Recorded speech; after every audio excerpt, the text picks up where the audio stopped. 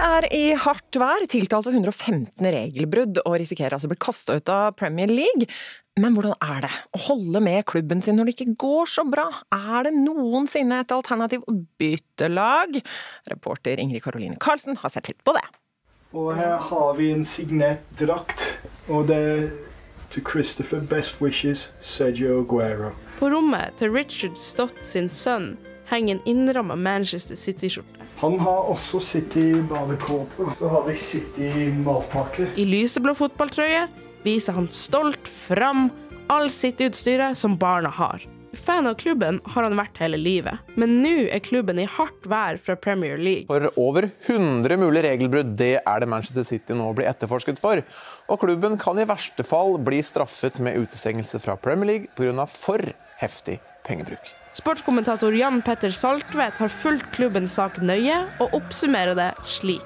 Man skal ikke kunne komme inn med en pengebinge større enn onkel Skrues og bare pøse inn så mye man vil, helt uavhengig om man tjener penger eller ikke. Rett og slett bare for å kunne vinne for enhver pris. Manchester City-fans ser ut til å stå i en vanskelig situasjon. Suksessen som klubben har opplevd de siste 15 årene, kan ifølge Premier League skyldes skittent og urettferdig spill. teorien så kan det være at de får poengstraff for de sesongene de har vært under etterforskning eh, for. Eh, rett og slett som en etablering at de har juksa.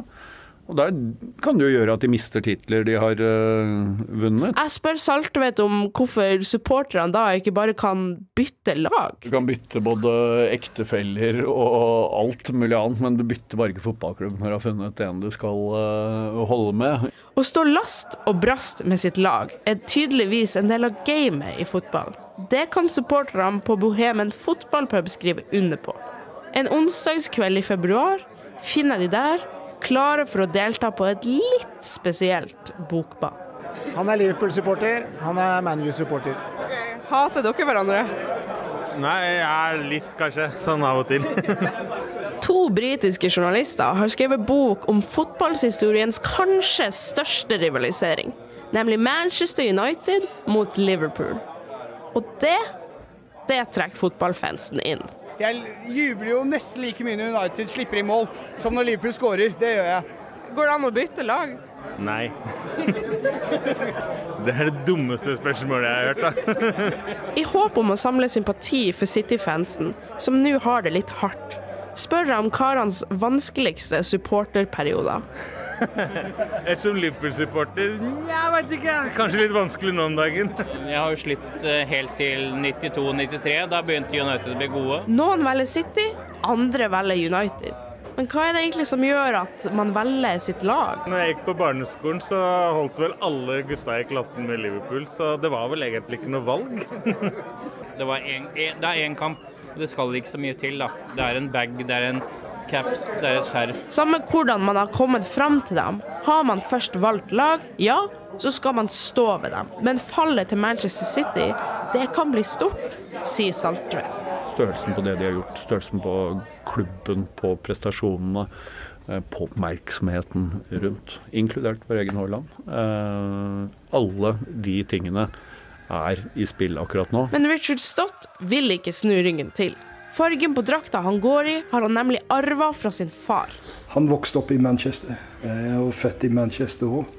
Som liten gutt leide han sin fars hånd inn på arenaen for kamp. Nå gjør han det samme med sine egne sønner. Her minnes han de beste øyeblikkene fra et liv med City. Når vi vant Premier League for første gang.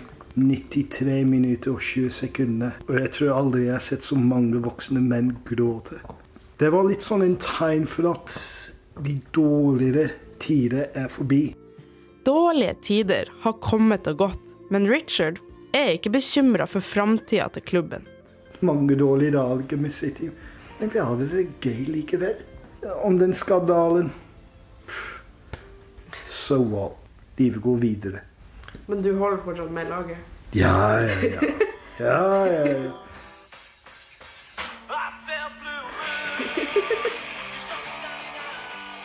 Og er du gira på å sove litt bedre?